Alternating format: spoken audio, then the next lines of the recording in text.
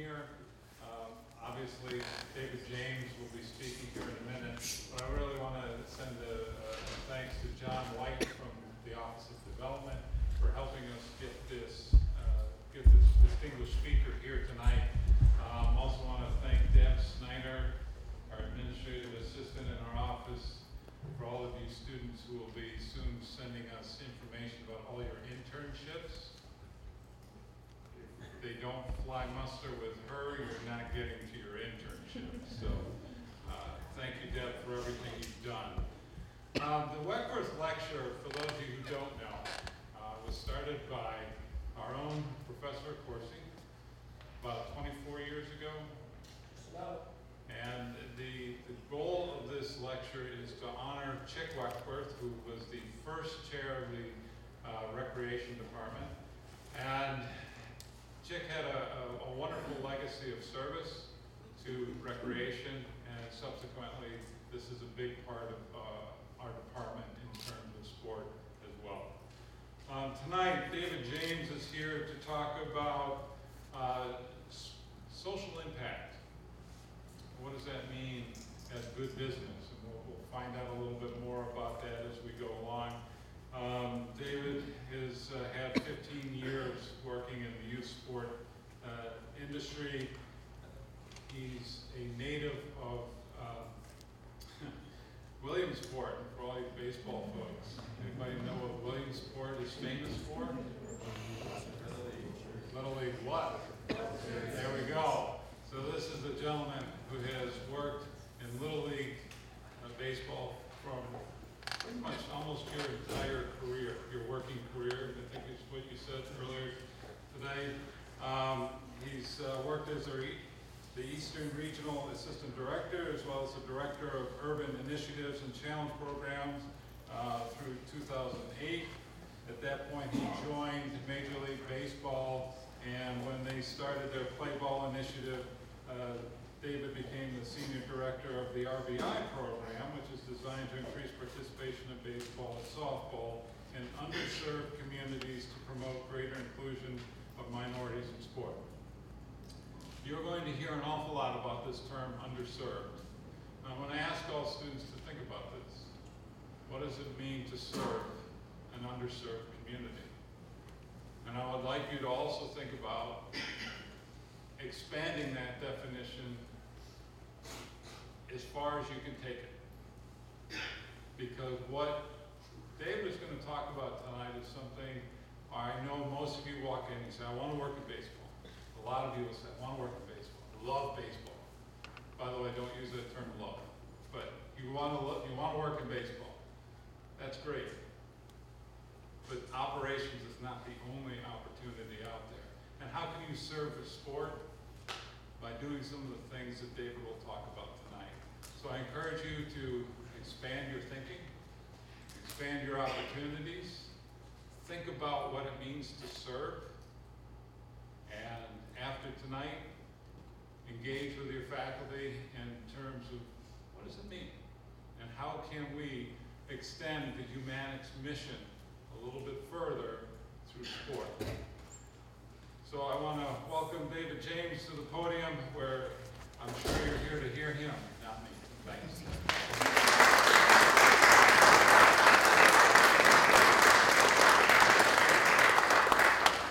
Good evening, everyone. Uh, Honored uh, to be here. Learned a little bit uh, last evening uh, about uh, this particular series and what it means to this college, so uh, very honored to be here.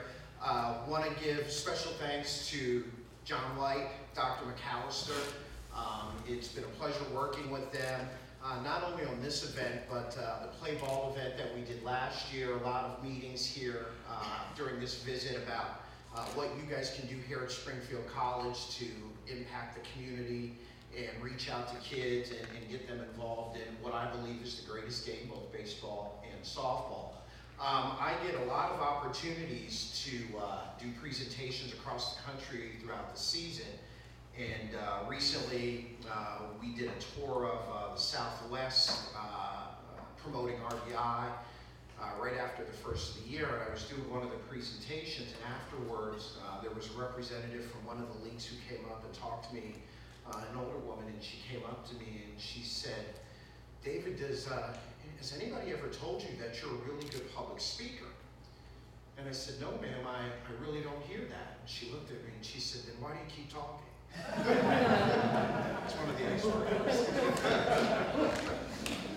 um, so, uh, as he said, as, as uh, Kevin said, I've been very fortunate. Uh, grew up in Williamsport, Pennsylvania, home of Little League. Uh, when I was a kid, every summer, uh, we would trek across the bridge, the Susquehanna River, the bridge that covered the Susquehanna River, and we'd go over for, you know, uh, before they expanded it, it was about seven or eight days, and it was baseball heaven. And you had uh, ABC, Wide World of Sports, and you got to meet a lot of celebrities, and we ran around and we slid down the hill. Uh, what was interesting for me, I wasn't and never have been a very good baseball player. But as a result of growing up there, it was sort of ingrained uh, in my DNA.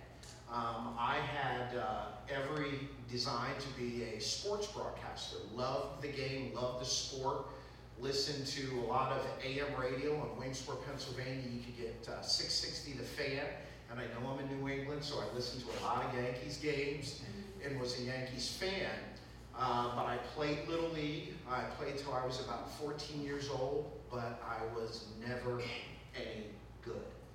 But I still love the game. I had, you know, a few experiences playing where, you know, all of the stars aligned and I got a hit or I made it an incredible catch. Um, and sometimes it was tough with the kids in the neighborhood, you know, kids were brutal. Uh, and uh, from my Little League career, I was the kid who played the minimum. Uh, basically, six defensive outs and one at bat.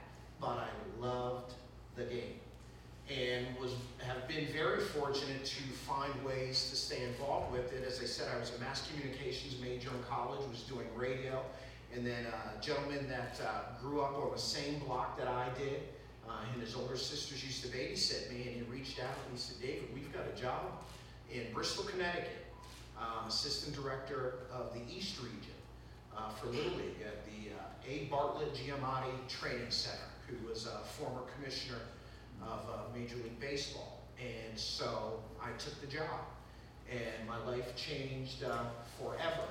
Uh, a couple of infamous claims to fame uh, that I had. Um, I was intimately involved with uh, Danny Almonte. Uh, many of you may remember that. He was the young man that pitched a perfect game at the Little League World Series. And unfortunately, afterwards, we found out uh, that he was too old to play. Um, and a little bit of irony with that, not necessarily in a good way, that took place in August of 2001. Uh, so Sports Illustrated showed up at Little League. They had the original birth certificate.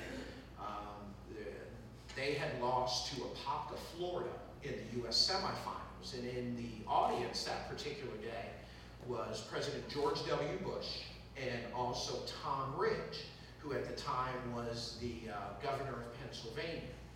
Um, so the, the Tuesday after, um, a bunch of us got called into the boardroom with Steve Keener, the president and CEO of Little League, and uh, he said, "There's reporters here uh, from the New York Times." And he said they're going to do a big piece about Danny Almonte and how did it get to this point. Um, and you know, Steve had already made some comments and some statements, and he said some of you in the room they're going to want to talk to you specifically, uh, just because of the experiences at the regional tournament in Bristol and things like that. And I was one of those people. Um, I argued with a coach and a team from Pequannock, New Jersey, um, that had early on had said, he's too old, he's too old, he's too old. And at the time, I thought it was really driven by racism. Um, because here's this team of uh, you know Hispanic kids from the Bronx, New York City, and we had seen a birth certificate with a raised seal. So Steve sort of gave a pep talk to everybody from the staff and said, "We're going to get through this." During the course of that, um, suddenly someone came and knocked on the door uh, while we were in the conference room. Steve said, come on in. And uh, it was one of the secretaries, and she said, turn on the TV. That was Tuesday, September the 11th. And as we all know, the world changed that day. And uh, obviously, the story uh, never got written in the New York Times. And I tell you that story uh, from the standpoint it's just a game. It, it's really what it is. It's, it's about fun. It's about kids enjoying, regardless of their ability. Again, I call out. I wasn't a good player, but I love the game. And I think that's a good way to sort of start off um, where we are now from a standpoint of Major League Baseball.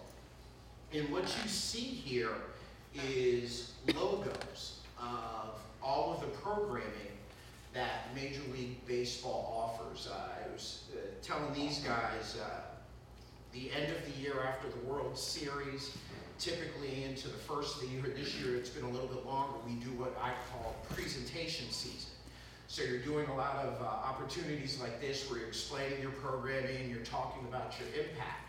And as our department has grown to baseball and softball development, when I started to put together our decks for this year's presentations, he said, I said, man, it's too wordy. And how do I get the messaging out? And I decided to put logos up. And when I put it up there, I was like, wow, this is, uh, this is pretty impressive in regards to the work uh, that has been established. And it's all underneath the umbrella of play ball. And as you see here on the slide, it says, however you play ball, play ball. And through some of the partners here, we believe that there is a life cycle here uh, for kids and communities to engage both in the games of baseball and softball.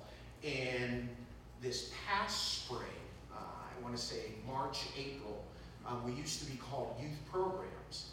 And there were some changes to our department, there were some additions added to it, and our name changed to baseball and softball development. And it was surprising the number of people who would come up to us and other members of our team and staff and go, You guys say softball. Absolutely, we say softball. The girls are just as important to us as the boys are. Their sport is important to us. And as you see the logo of USA Baseball and USA Softball on there, they are the governing bodies. Uh, and for those that aren't aware, in 2020, baseball and softball is back on the Olympic menu, uh, which is really important for us for this particular industry as it relates to stick and ball. USA Softball has already qualified for the 2020 Olympics.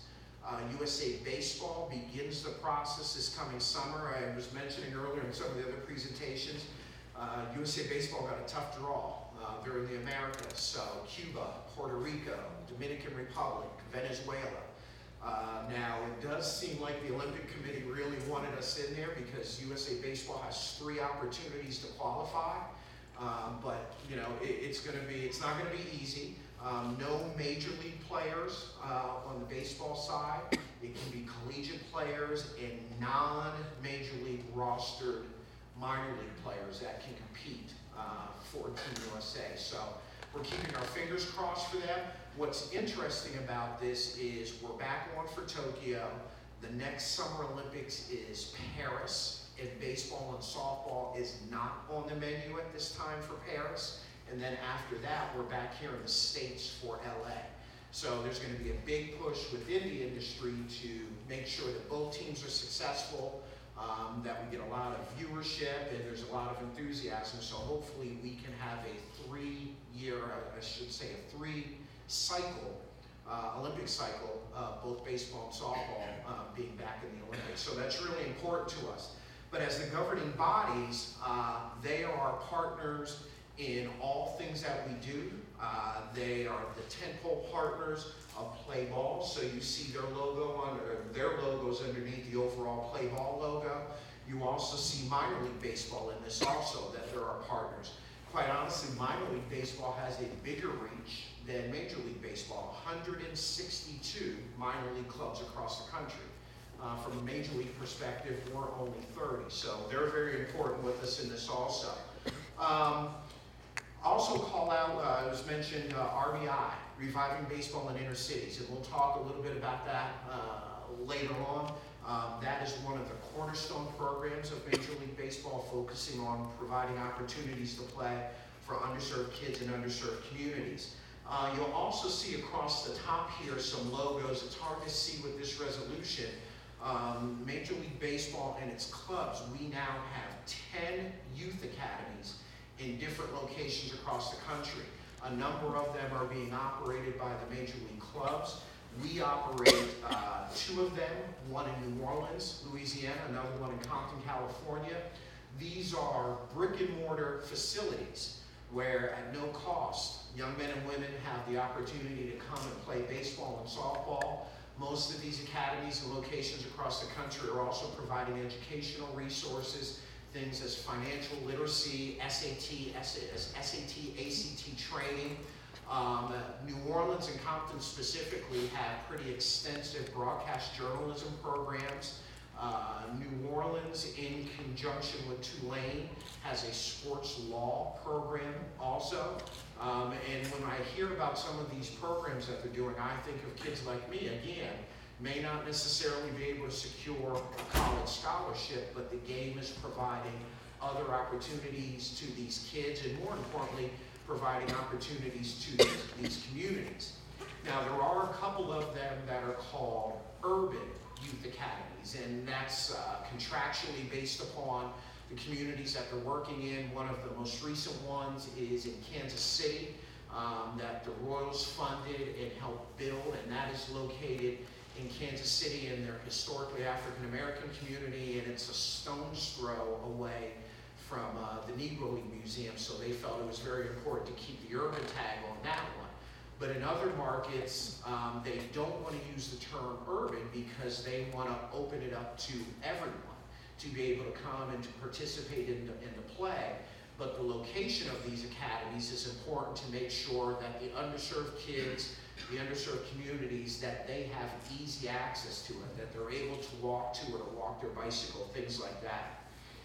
Additionally, as we sort of uh, undertook this and, and how do we grow the game, uh, let me just a show of hands, how many baseball, softball players here in the room?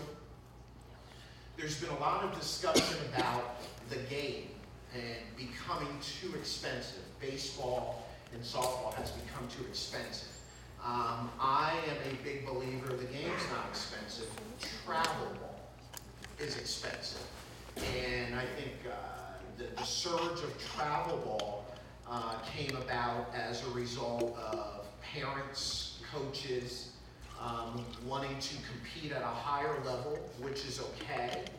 Um, but sometimes talent is in the eye of the beholder, and I think part of what happened is if that beholder was a parent and they had the resources, they were a little bit blind on the ability that their child may have, but they had the money and the resources, and so we're going to go play somewhere else where I believe my son, my daughter's going to get more opportunities to play, which isn't always necessarily the case.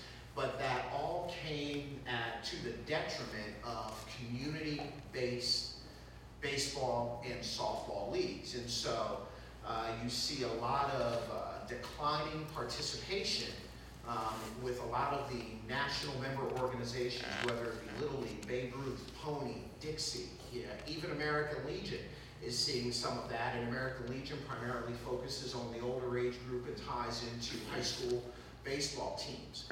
And so uh, RBI started before that, but RBI and other efforts from a Major League Baseball perspective, they said, how do we turn this around? And most importantly, how do we provide baseball and softball opportunities for everyone, regardless of their playing opportunities? So Major League Baseball, along with USA Baseball and USA Softball, undertook a couple of initiatives. One of the ones that I'll call out, the entry level um, for kids, and it doesn't necessarily matter what your playing abilities is. You'll see at the bottom the logos of two of our skills competition, pitch and run and junior home run derby. Those are skills competitions which focuses on some of the basic tenets of the game. Obviously, the pitch and run competition, as the name is called, um, it's a competition to pitch, to hit, and to run. And you get an opportunity to compete at a local level. If you advance out of the local competition, then you get to go to one of the 30 team championships that take place in all of the major league markets. If you happen to win coming out of that, then uh, your scores are compared against uh, other kids from across the country. And if you get the higher scores, then you get to go to the All-Star game and compete for a national championship. Again, for those kids that make it to the national championship, regardless of how they do, it's an experience of a lifetime. You're on a plane, you're on the field at the major league market, you get those types of opportunities. Junior home run derby is relatively new. Um, you know, kids, and they say chicks, love the long ball, love to hit home runs. Uh, and even though I sort of disagree, we were talking earlier, I think the game has sort of evolved to strikeouts and home runs. But this is an opportunity to sort of feed that appetite for kids to be able to go up and hit it as long as they can. And again, there's a competition component to it where you have the opportunity to advance um, all the way to the All-Star game. And it gives, uh, uh, you know, regular kids and fans, regardless of their ability, a once-in-a-lifetime opportunity. Also, you'll see a logo here for a program called Fun at Bat. Um, this is USA Baseball's version, different version of T-ball. Um, if any of you have ever been to a T-ball game at a local youth league, it is the swarm. Um, a lot of times it's a, a parent who did not play baseball or softball, but they want to sign their child up for a league, so they sign up. Um, they're asked to coach. They really don't know much about the game, and we have to hope that they have a wonderful experience and they become lifelong fans. The problem with that, T-ball really hasn't evolved over the last 20 or 30 years. So those of you that play baseball or softball, you're familiar, they use a standard tee. More often than not, they use a regulation ball, which is a hard ball. And even though they have smaller bats at four, five, six years old, they're hitting with an aluminum bat that they've probably never swung before, and there's a lot of other kids, it's a little bit dangerous. USA Baseball, as the governing body, did a lot of research, and ultimately they came back and said that T-ball is hurting our sport. That is the first moment of entry for a lot of kids and communities. They don't have a good experience, and they walk away from the game at five or six years old. And I see Coach back there, he may see a kid a little bit later on that looks like he has some talent. And he say, hey, young man, young lady, why aren't you playing baseball or softball? Nah, I had a really bad experience in T-ball. And they walk away from the game. So USA Baseball worked with Franklin Sports, which is based uh, not too far from here, up in Boston, and they developed a different version of a tee, which has a much larger cup. Um, they use plastic or foam bat balls, and uh, the balls, uh, I, I, talk a lot that if you go to a Walmart and you go in the sporting goods section and you see those big multicolored plastic or foam balls, those are the types of balls that they use for fun at bat. What that does is that guarantees success for these kids. They're swinging the bat, they're making contact, they're running. The kids who are playing the field, now there's a ball that they're not scared of and they can catch. And then USA Baseball also the shorten the season. So a fun at bat season is only six weeks long, and each week has a theme to it: um, uh, sportsmanship, teamwork, loyalty. So they're taking something educationally away from it also. And then the most brilliant thing that I think USA Baseball did with this is there was a lot of pushback again among some of the other national member organizations. We've always done T-ball. That's a division of play for us. So there was pushback. USA Baseball partnered with an organization called Shape America. And Shape America works with school districts across the country and helps them develop their physical education curriculums. Um, so this past year in 2018, over a million kids did fun at bat in their uh, PE classes, in their kindergarten, in their schools and things like that. So what we expect from that is that there's going to be a lot of kids who weren't involved in the game, that they go home and they say, Mom, Dad, you know, we did baseball, we did softball through fun at bat uh, in gym class today. And as a result of that, you know, uh, they're familiar with it and they say, I want to play in our local league. And that's how we grow the game. Um, you'll see here some of our sponsors, Chevrolet, Scott's, Kingsford, um, that support us and, and, make sure that we have opportunities to get these play ball events out to as many as possible. And then you'll see again, as I mentioned, some of the other things that we're doing, working with the NCAA. Um, we have uh, MLB4, which is coming up in just a couple of weeks. It's a collegiate tournament that's taking place in Arizona, Vanderbilt, uh, TCU, there's a few other schools that are playing in that one. Um, we also do, uh, you'll see a logo here for States Play. Last year, we did this at Globe Life in Arlington, and that was Texas and California. Uh, the best players from both states uh, play the tournament this year. It will take place in Miami, and it will be Florida and Georgia. Um, so baseball is really being aggressive and operating in this particular space and making sure that everybody has opportunities to play.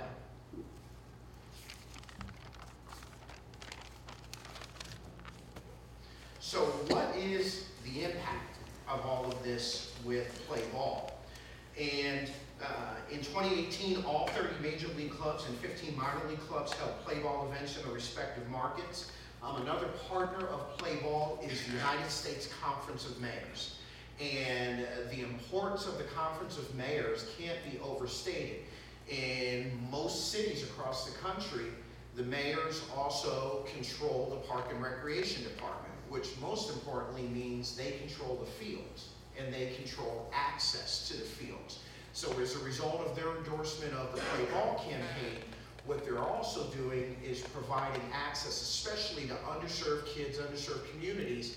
They don't have to worry about paying the permit fees or having to pay for the lights. Um, there have been issues across the country in some times of economic distress where park and recreation departments tend to give the permits to organizations that can afford to pay. Uh, so you'll see a lot of adult recreation leagues or other for-profit entities that don't have any problems paying for the lights, paying for the permits, and so they get first choice. As a result of the Conference of Mayors, that's giving kids more access uh, to the game and giving them more opportunities to play.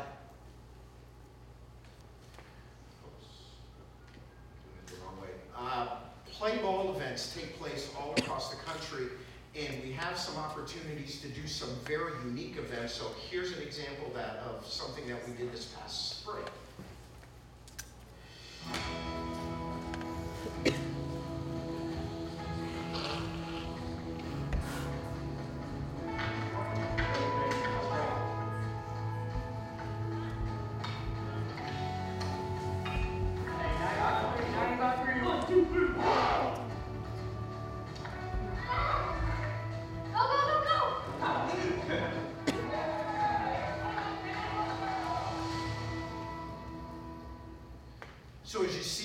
That was in Fairbanks, Alaska. Uh, this past year, they did the 113th Midnight Sun Game. Um, it is a collegiate summer league, and every June 21st, they start the game at 10 p.m. at night. Uh, the sun is up for a long period of time during uh, the course of uh, the summer solstice. And we uh, wanted to make sure that we got the messaging out and supported this collegiate summer league and the great work that they've been doing. The uh, commissioner says a lot of times that we have to take the game to places where we don't play every day. And that was really the, uh, the ultimate example of that. And I know I spoke to a couple classes today and I talked and, and I still think about this, that the number of people while we were there for 24 hours kept coming up to us and saying, we cannot believe Major League Baseball is in Fairbanks, Alaska. And we made sure that our play ball activities uh, included baseball, softball. Um, there's uh, two big military bases uh, up in Alaska. So there was adult softball that participated in that also, and then it all culminated with the Midnight Sun game. As a result of that, uh, we now have an RBI league in Alaska. Um, and for those that have never been there, I was sort of raving about what an experience it was to see Alaska, but there's less than a million people uh, in the state as a whole, and there are obviously sort of uh, pocketed in certain areas of the state. Uh, you know, you go a little further north in the Arctic Circle, they're not playing much up there. But as a result of us being there for the play ball event, it really spurred additional participation. So what does play ball mean to us from a, from a numbers perspective? Uh, the Sports and Fitness Indus- Industry Association, they do the measurement on participation. And for the second consecutive year, baseball and softball combined to rank as the most participated team sports in the United States in 2017 with over 25.1 million uh, participants. In 2017, casual participation in baseball rose by 12.9%, with overall participation seeing a six-point uh, increase. And over the last three years, baseball has seen a 49% growth in casual participation, which is in direct correlation to the launch of the Play Ball initiative. And I probably should have talked about this earlier. We are very specific. These are not play ball clinics. These are play ball events. And so what it is, it is, especially with the younger kids, it is organized recess. It is not your standard station to station, this is how you throw, this is how you catch, this is how you bat. We do home run derby with plastic and foam bat and balls, and we tell the kids, when you hit a home run, flip your bat. Have fun, trot around, trot around the bases. We do games of catch. We do a game of bat and ball, and the reason we do that, wiffle ball is a brand. I know everybody's familiar with wiffle ball. We tried to talk to them and convince them to come on board, and it was pretty expensive, so we call it a game of a, a game of play ball. But we really talk about casual participation, and at these play ball events, we really want to focus on getting kids in who currently aren't playing the game. So we go to a lot of different markets where we know there's not a lot of participation and we do these play ball events. And you see a lot of kids who have never held a bat before and aren't holding it the right way. I think we saw a lot of that here in Springfield. And you show them the proper way to hold the bat, proper way to swing. And they have success and they're not scared of the ball because it's a foam or plastic bat and ball. And we're hopeful and we're starting to see by some of this data as a result of that, and we give them that bat and ball set when they go home, that they say, hey, mom, dad, I want to sign up, I want to go play in a league. Um, our website is playball.org, and on there, there is, I call it an app, but it's a link really, uh, it's called Play Ball Near You. And what you can do there is you can put in your zip code, and then it shows you all of the particular youth leagues in your respective area. So that gives you an opportunity, uh, you know, a means to be able to sign up and play in a league. Now, all of that work doesn't necessarily apply in some markets, and it requires a little bit of extra work. And that's the purpose of the RBI program. Um, it stands for Reviving Baseball in Inner Cities, which has been a little bit of a challenge for us over the last couple of years because as many of you know, a lot of the large metropolitan areas uh, across the country have changed significantly. Um, that, you know, a lot of high rises, condos, things like that are coming up. And so when you say inner city, if you go to some places like Detroit or ironically on my commute, Newark, New Jersey, uh, is quickly passing Hoboken and Jersey City, New Jersey, as the new bedroom community, community of folks who work in New York City. Um, so we focus on underserved kids and underserved communities. I talked in one of the classes before. Um, probably the simplest way to describe it: poor doesn't have a color. Um, so if you don't have an opportunity to play, you don't necessarily have the resources. Uh, we want to welcome you into RBI. Now, in some markets across the country, we're doing a lot of work in the deep south. I've been in Birmingham, Alabama recently, doing some work there. We're focusing on the African American market. Um, I mentioned earlier, right after the first of the year, we did a tour of the Southwest, McAllen, Corpus Christi, Albuquerque, San Antonio. We were focusing on Hispanic uh, kids in those particular communities. Um, I've uh, told uh, multiple people today we have an RBI league in Montana. And of course, reviving baseball in inner cities in Montana. And we thought that also, but they reached out to us. We set up a phone call, and there is no high school baseball in the state of Montana. Uh, median income is well below the national average. So it's hard to garner resources. If they want to play, uh, it, you know, a three, four hour drive to the next city, the next field. And we talked about it. They are underserved as it relates to the opportunity to play baseball. And therefore, If they're not playing, how can they be fans of the game if they didn't have the opportunity to experience it? Um, we have uh, just over uh, 200 leagues so far this year. Uh, we expect to be over 175,000 plus. And what makes us different, and this is no disrespect to the, any of the other organizations, but we are the only national baseball and softball organization that you don't have to pay us to affiliate. You don't pay us any franchise fee. It is free to be involved in RBI. Uh, what we will also do is provide you equipment and uniforms. Uh, we talk a lot about we want to help our leagues reduce the cost of playing the game. We do do some cash grants, but uh, we're, we're in a little bit of a dilemma in regards to uh, the adage that if you do for one, you have to do for all. Um, RBI leagues are broken up into three buckets. Uh, the first bucket I call out is the major league clubs and the minor league clubs. All 30 major league clubs support RBI leagues, but there are 25 leagues uh, that are the league directors, and they're serving big numbers. I, I always call out Dodgers RBI. Uh, Dodgers RBI is 12, excuse me, 12,000 kids strong, and it is $25 a kid. Every kid gets a Dodgers home and away jersey.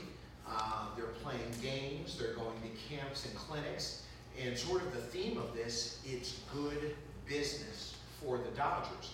As a result of this access for these kids, as a result of the access to the brand, uh, they are more apt now to consume Dodgers baseball too the course of the season, to buy the apparel, to say to mom and dad, I want to go to a game.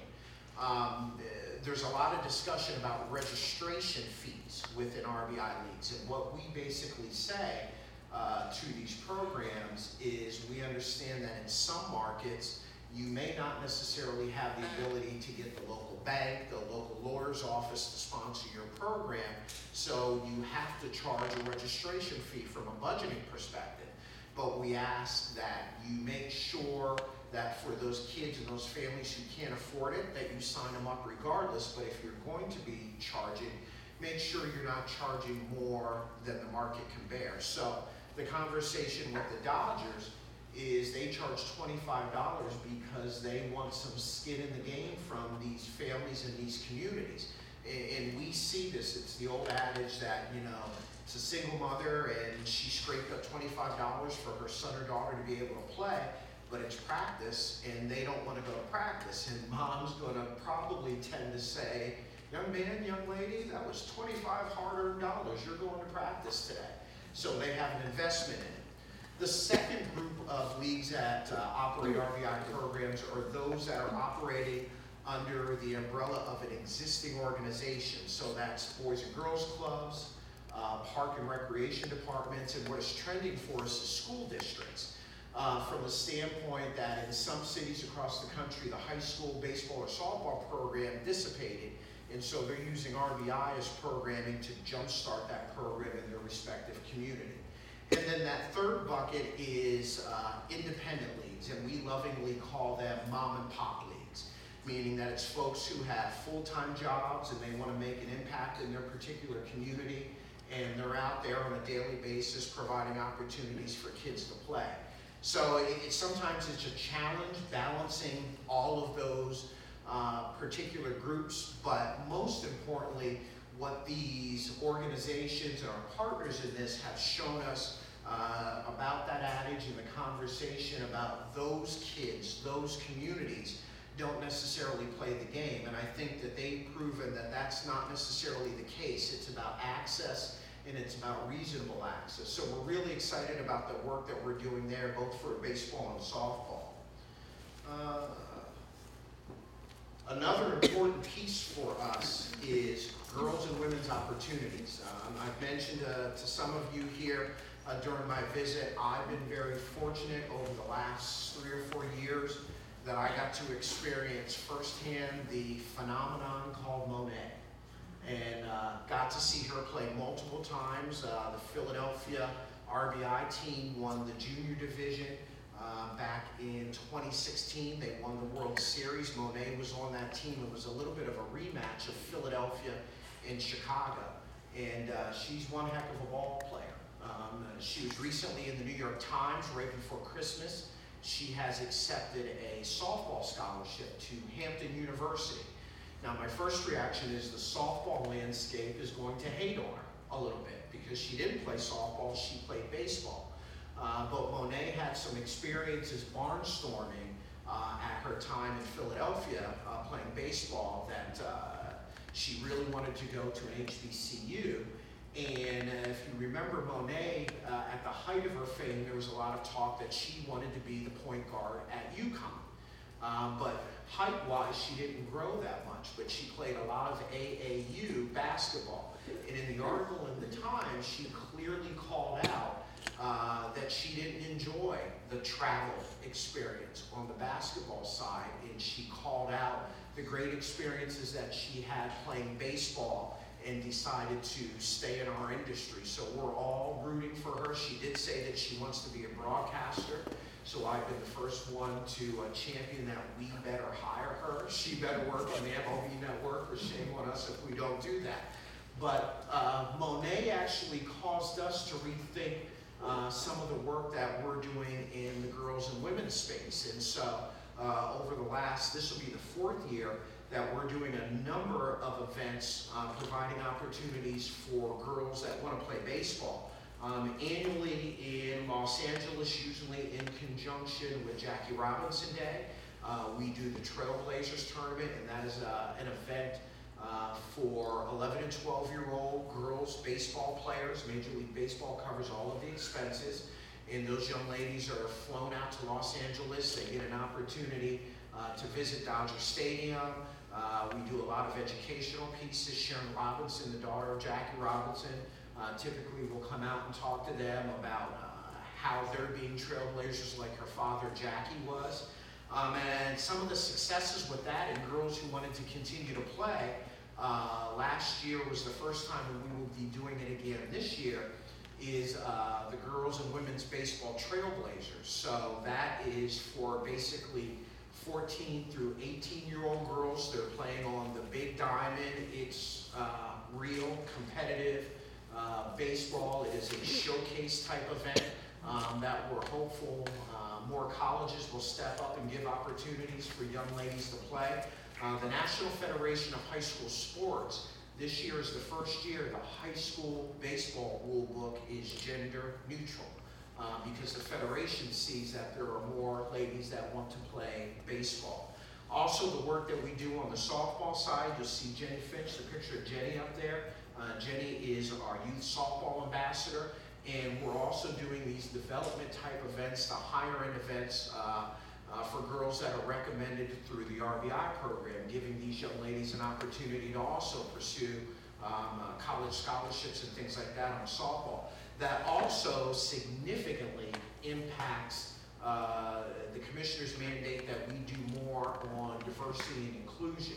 Um, that the uh, employees of our clubs and the work that we do out of the commissioner's office is representative of what society looks like, and we give more kids and ladies opportunities to uh, pursue careers in Major League Baseball, regardless of whether it's something that they do on the field, that there are career opportunities for them off the field. And we've got another video to show uh, regarding one of the events that we did uh, this past year in Los Angeles.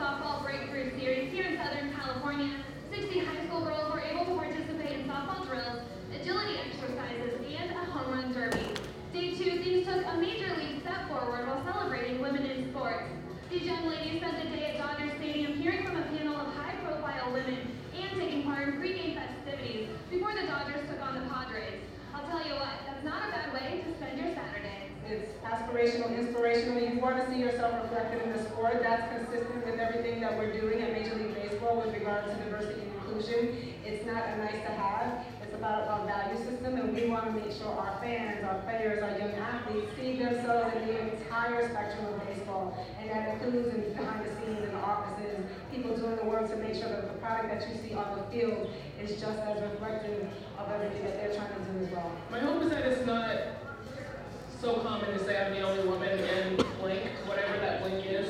Um, and that it's not as much of a surprise when you see a woman in charge of whatever they're in charge of. Um, I think we're definitely getting to that place where women are in bigger positions of power and I love seeing that. They were telling us how to be confident women, how to be a good hard worker, and just how to, you know, live life good as a woman, and as an athlete too. be confident around a male-dominated sport and do what you do best. Since we're from Alaska, we don't have opportunities like this, so it's super cool to see our like favorite sport in real life. This is very unbelievable. I never thought I'd be in Los Angeles, especially on the Dodgers field, because I've never been to California, and it's just very exciting, and I'm very blessed. And you can see the enthusiasm from those young ladies for the experience. So, what does all of this mean?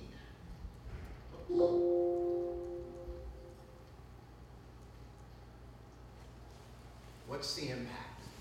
Um, over a million kids impacted, and that's up a little bit like 2.5% from the year before.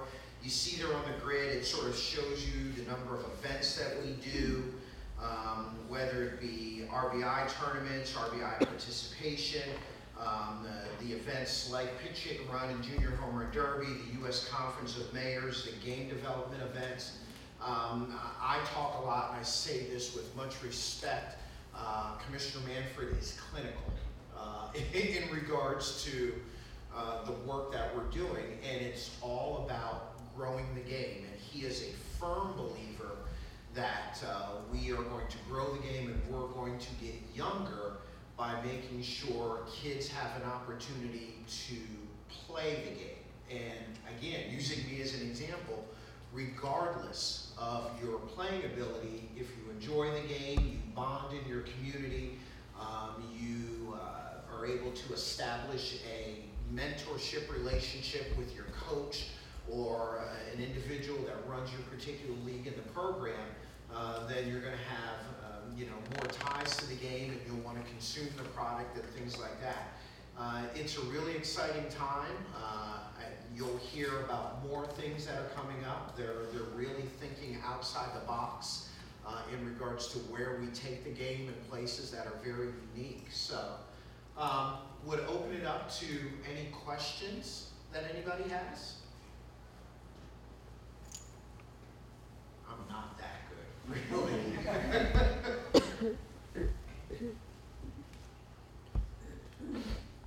Students, when you step off, please say your name and uh, what year you are. Uh, I'm Danny, I'm a sophomore. Um, so when you're talking about the uh, like percentages and the numbers of like people that you reach through RBI and other programs, um, it was just such a high, high number that was surprising to me. Um, is that like that they go on their own choice, or is it like a thing that they're like sort of forced to come to? No, um, it, it's, it's obviously voluntary. Um, it- you don't have to play. Um, I mentioned earlier about there was a lot, there's been a lot of discussion over the last five to 10 years, uh, specifically as it relates to the African American community, that they don't play baseball and softball. And we fervently believe that's not the case. It, it's about access. And there was a lot of conversation, and I know I'm in Springfield, Mass. Well, they're all playing basketball. Uh, basketball, you know, a lot of times you can play much more informally, and all you need is a court in basketball. So, uh, you know, to the credit of Major League Baseball and the leadership, is that resources were put in place to make sure that we can reduce the cost of playing the game. One of the things that we're also pushing from an RBI perspective is not tournament teams. The kids that are on tournament teams, we don't have to chase them, they're already playing. It's the other kids that we want to give opportunities and play more regular season games and give opportunities to the young man, the young lady that doesn't know if they're any good yet. And what we found is if you give them that opportunity, they will play. The other misconception out there too uh, about the youth baseball landscape, it is a spring sport. Even here in the Northeast where folks get started earlier, if you take a look at it, most of the youth baseball leagues, the regular seasons are done before Memorial Day. And then those leagues focus on teams of 15 players that are the all-star players, who are the kids who are good and already playing. One of the things that we've done with RBI, we push our season later so that when kids are out of school during the course of the summer, they have more opportunities to play. And, and if the better kids are playing all-star, that's fine also, but for the kids who aren't that good, that gives them more opportunities to play with no pressure. You're welcome. Yes, Dave, how are you? I'm well, how are you? good. If you think about the changing demographics of the country, you know, in reference to, you know, we're gonna see lower numbers of white students, higher numbers of Latinx and African American students. What's the future of Major League Baseball if they're not keeping up with those changing demographics? Well, I, I think, as you saw in the video piece, uh, and Renee speaking about Major League Baseball's efforts to make sure that our leadership, uh, whether it be at the club level, out of the commissioner's office, is reflective uh, of the changing demographics of the country. I mentioned the, uh, the Southwest trip, um, and uh, the Hispanic population does have affinity for the game of baseball and softball. And when I was down there visiting those particular cities, they were already playing. Uh, they had in their respective communities, they had leagues up and running, but they weren't affiliated with anybody. It was a local community-based league with no support. Now, whether that's, you know, part of the tenor in that part of the country and, you know, in the country right now, but it, it was surprising that when we went in, that they were, you know, fundamentally, they were established leagues. And they were a little surprised that Major League Baseball, you know, someone came down to talk to them and said, hey, we want you part of our program and you get the opportunity to use the silhouetted batter. And, you know, you can tell your kids in your community that your league is partnered with Major League Baseball. And obviously in Texas, that's an opportunity that we made some introductions both for the Rangers and the Astros uh, to those communities and those new leagues so that make sure that they do outreach and, and do events with the kids and give them opportunities to come to games. So it, it, it's important to stay current with uh, the trends and the demographics in the country. Yes. Hi, Megan. I'm a junior here. You were talking about the play ball events, and on your slide, it said that all 30 teams were involved, but only 15 of the minor league teams were involved. Right, yes. Do you have future uh, plans put in place in order to gain more, because there's, like you said, 165 That's right. minor league teams? So, minor league baseball overall did 400 some play ball events, but a few, only a few of them branded that play ball. Uh, our department is operated under one of the nonprofits, so we're uh, the Major League Baseball Youth Foundation, but I work for a for-profit company. So sponsorship sells, and they sell well, as they should. So as you saw, the, the one particular slide that had Chevy, Scott's, Nathan's, we're working through that with our sponsorship group um, because the minor league clubs are saying, well, can we have an opportunity to sell that also? So I think that number will increase, uh, but when we really started to reach out to minor league this year, it was sort of baby steps, but we, but we expect that number to significantly increase for this year. Yes. Hi, Mr. James. I'm Sam. I'm a junior. Um, my question, so I know you stopped playing at 14, um, and I know that's a common age where pe- people stop playing because, uh, for me at least, um, the local opportunities kind of end there, and it seems like mostly travel and high school sports.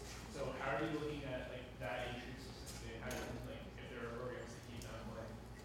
Yeah, it's, I, I think actually USA Softball plays a role in that. Um, they have some desire to help grow recreational and adult softball. Um, I'm pretty good at hitting a softball. I, I can't hit the baseball. I mentioned to a couple of the classes earlier, if any of you have ever seen the movie Major League, I'm Pedro Cerrano. Uh, curveball is, is the strangest thing uh, I've ever seen. Um, and if you watch those ad campaigns, the play ball, you, you see a lot of them, you know, recreational play. Um, uh, one of my colleagues who was here for the play ball event uh, that we did here last year um, has some ties to the Yankees. And uh, the Yankees for two years in a row did a stickball tournament in the Bronx underneath the L uh, train platform. And that has really taken off, that that may evolve into a stickball league. Um, in the Hispanic community, there's a, game, a game called Vitilla, uh, which they play down in the DR, which is basically a bottle cap. So we're always looking at different ways uh, to play the game. Somebody actually mentioned recently, you guys should do dodgeball at play ball events. I'm not sure how I feel about that yet, but, uh, but to your point, I, I think you know, however you want to get engaged uh, in the game, to the point that when I stopped playing, uh, I mentioned earlier this morning, my first job that I ever got paid for was keeping book in, in a local little league in, in there. So I found a way to still stay involved in the game, even if it wasn't on the field. Yes? My name's Michael, I'm a junior, and uh, my question is, um, I know like sports now, not like nowadays, uh, players are like tending to stick with one, one sport specialization.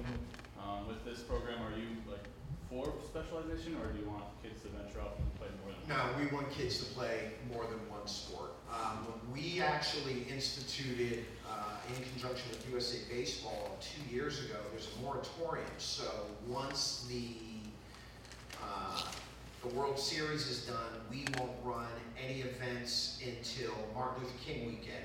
Uh, and then we do the Dream Series, which is a specialized camp for just pitchers and catchers.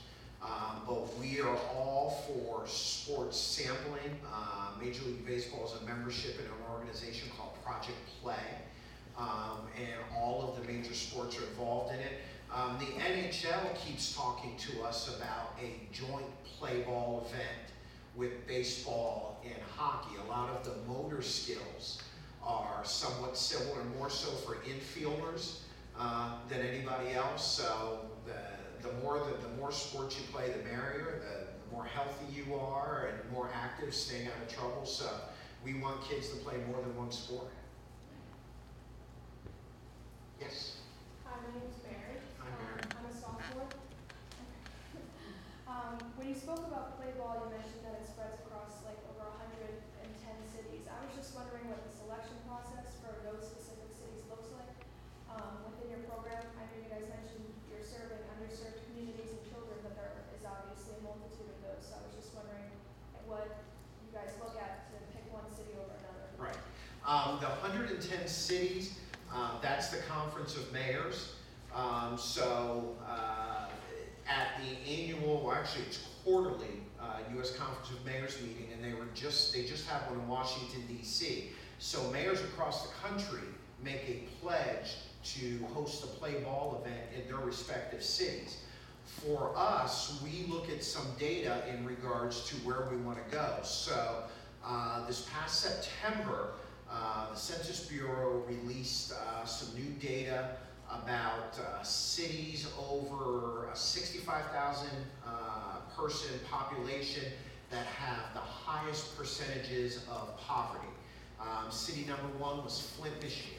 Uh, we did a play ball event in Flint two years ago, started an RBI league. They're sort of middle of the road right now. We're going back to Flint, Michigan uh, to do another play ball event and get resources to help that league grow and be sustainable. City number two was Gary, Indiana. We're going to Gary, Indiana to do a play ball event there. LaTroy Hawkins, uh, uh, pitcher in the major leagues, longtime reliever. He's now an executive for the Minnesota Twins. That's where LaTroy is from. Um, Little League had a strong Little League program there for years. in Gary, Indiana. They made it to the Little League World Series with Lloyd McClendon. Uh, Latroy made it to Little League's uh, junior division, which is 13 to 15 year olds. Uh, so we're going to work with Little League and some other partners there. Um, we're also targeting Richmond, Virginia, Charlotte, North Carolina, Detroit, Michigan, and that's all based upon those some of those cities that uh, showed up on that poverty ranking. We also have a desire to, within the next couple of years, to do play ball events in all 50 states. So we're having some conversations with the Red Sox because Red Sox Nation is pretty large. We haven't done play ball events yet in Maine, Vermont, and New Hampshire. We want to do that. Uh, I was talking to Kevin. Uh, we're going to go to Montana. I, I have nine states to go uh, to visit every state. I actually took a pass, and everybody in the office thought I was crazy. We did a play ball event in Hawaii in October.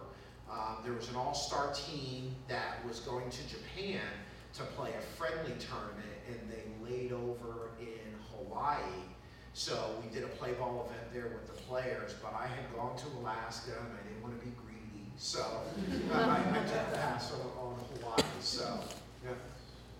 Uh, yeah, I think that was both questions for you. Thank you for asking that. Any other questions? Yes. My name is Mackenzie, I'm a freshman. Would RBI ever partner with like people with disabilities?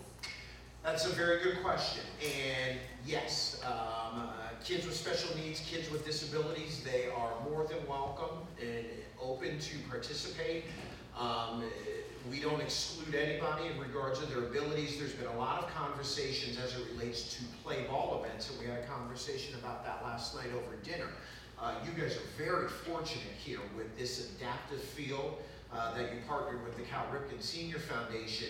Um, sort of as I mentioned, we're going to do another play ball event in Flint, Michigan. So we're going to be on a grass surface, and more than likely that field is not in the best condition. Um, we know that we need to do a little bit more work in that space to make sure that they have opportunities, but we also want to make sure that we address some of the safety concerns, um, but also being sensitive that as part of this in that particular community, uh, the kids and the parents, they want to be accepted just like everybody else, and that's important to us also. So we do do these events, but we want to make sure that we're doing them the right way to make sure it's a good experience and first and foremost, everybody's safe. Yes. Um, I'm Joe. Hi, Joe. Uh, I was just wondering, as kind of technology advances, do you see any like potential concerns with like kids becoming more into esports and video games and and, and I was asked that in one of the earlier classes. I'm probably the wrong one to ask about that because we go outside and play. And, and that's what we do, that's what we're encouraging kids to do.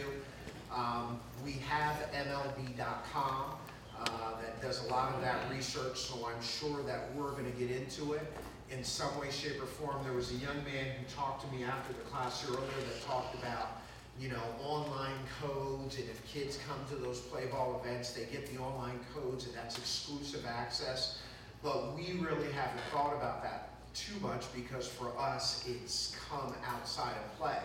Now, sort of tying into that, the other piece though is we are quickly moving towards an all digital registration uh, for all of our programming. Now, there's a business uh, application to that um, uh, based upon some of the HIPAA laws. Uh, a minor can't register themselves, so a parent or guardian has to register them for their programming. And one of the uh, things that you're asked if you're a parent or guardian, it's the opt-in. And basically what that means is can Major League Baseball, or based upon the market that you're in, can the club start to market to you? So we're really pushing that, but as it relates to RBI, I used to be uh, of the belief that we have to be careful with it. I'm looking for my phone for a reason. I used to think that we have to be careful about that because there's some underserved kids in communities that they don't have access to the internet. I don't believe that anymore. Everybody has these phones now, and they have the ability to get on the Wi-Fi plans and things like that. And so we're not there yet. I think within the next two to three years, we will be one hundred percent digital registration for all of the programming. And then that's an opportunity for the clubs or our office to market to these kids and communities, provide them opportunities, you know, different access. It's sort of tied to the esports, but at the end of the day, the work that we're gonna do, we're always gonna get, eh, we're always gonna encourage kids to come outside and play. Anything else? Yes. Hey, how are you? Sorry this morning. Um, my name is Gus, and I'm a freshman. Hi, Gus. So, your presentation, you talked about USA softball is important, uh, to your organization.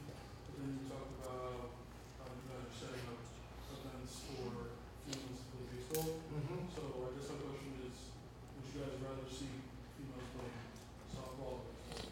We don't care. We don't care. We, we want them to play, and I don't think we're anywhere to the point that, uh, the growth in girls playing baseball is going to impact softball. If we get to that point, then we've really done a really good job. Um, you know, the landscape is going, there's a lot more work, and the landscape is going to have to change significantly that more girls are getting baseball scholarships to play than they are softball. I think there is a good number of girls, for a variety of reasons, don't want to play baseball, and want to play softball. I think there's a large number of girls, especially at the younger ages, maybe 13 and below, that want to play baseball, but at some point physiology is going to kick in and the boys are going to get bigger and stronger. And I think at that point, there are some girls that will go, okay, I had a nice run in baseball, but I think, I use Mo'ne as an example. She flipped over to softball now because she felt that that was the best opportunity for her and that, to get her into college. As I said, I hope we get to that problem, but I think there's a lot more work to be done in that space before we have to worry about that yet. Yes, sir. Thank you, David. Springfield College has been involved for over hundred and twenty-five years of developing international relations through sport. And obviously, as being the birthplace, was basketball in the early stages. I know past baseball coaches and softball coaches here at SC have done their part to improve international relations using their sport discipline as the medium of instruction. Would you, with your play ball initiative, support sponsoring a program?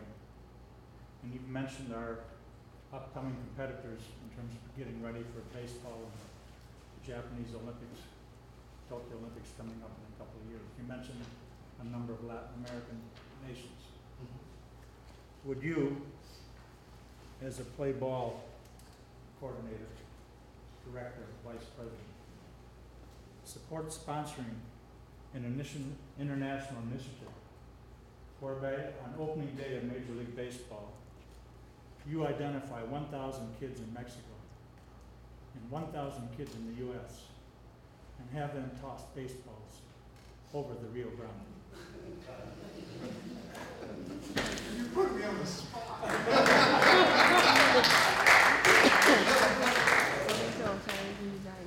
Um, as he knows, boy.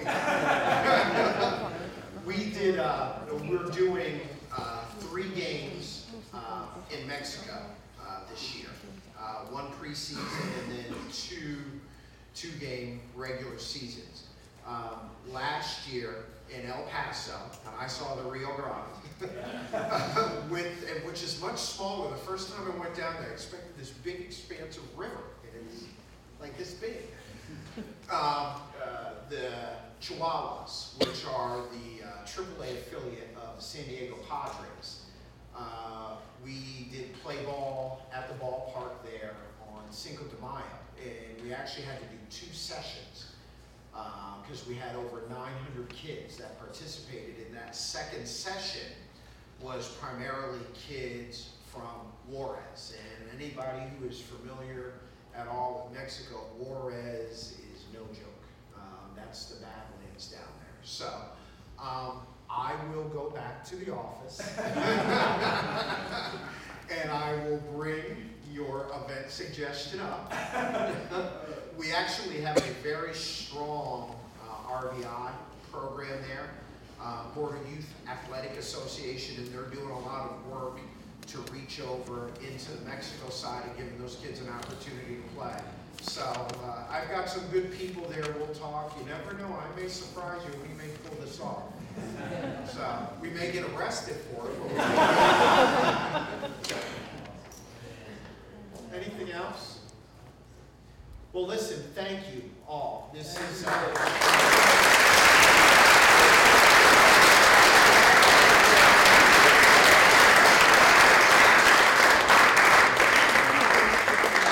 This has uh, been a great couple of days. Obviously, we were here last year.